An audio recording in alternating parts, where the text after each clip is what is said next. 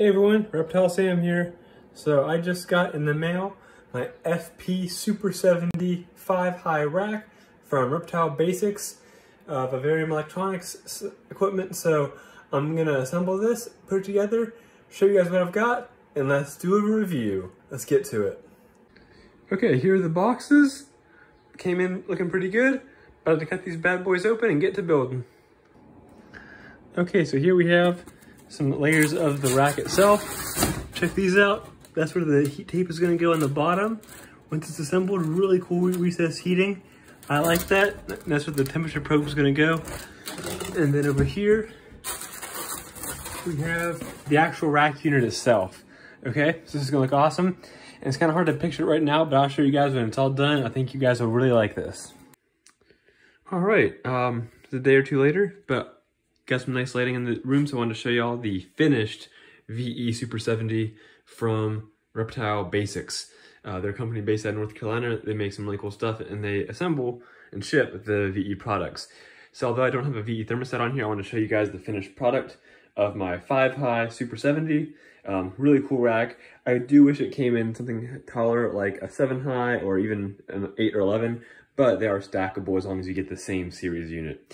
So uh, I do have an Animal Plastics one coming in in a few months, but we'll talk about that later um, when it comes in. So I've got three snakes in here right now. Uh, you can see I've got Cersei, Lydia, and Gandalf. And so these, um, couple of these, like this is a Vision V70, but these down here are FB70s, so uh, the Freedom Breeder 70 series. And we've got these little stoppers in here. Not that anyone's to be able to, you know, push their way out, but um, they're there just to kind of give a small extra measure of security in your tank or in your shelf. So uh, total assemble time was about three hours on this project. So you can see it looks awesome. Like you can see right in there, there's the heat tape. Installing the heat tape was the hardest part of this whole project. Um, it was a little bit hard to understand the instructions, but it's really cool. So it goes down in the back and it just goes on to each level and you can't really even see it from the outside, which is really nice. So once you figure it out, um, it's really cool. So you have to put it through the grooves in the bottom and then back in. And there's a recessed probe slot down there too. So really nothing's coming out the sides. And I will say I did have to shave a bit of the PVC off to get the uh, the plug for the heat tape to come out right here. You see my, my fingers pointing? So I had to shave off some of the PVC on the side, on this side right here, to get that probe up into it.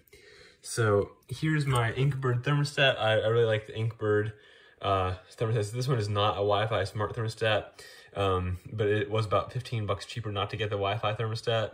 So I got this set at 88 for my Pythons. It's currently at 86 and it's heating. I like these thermostats because you can set uh, heat and cool differential. So I've got it set at three degrees in each direction. So it'll range from 85 to 91. So it's kind of cool. If you want higher or lower, you can adjust that. Um, so compared to some other cheaper thermostats um, that you can't really put a range, I really like that these Inkbird thermostats, you can put a range on your thermostats.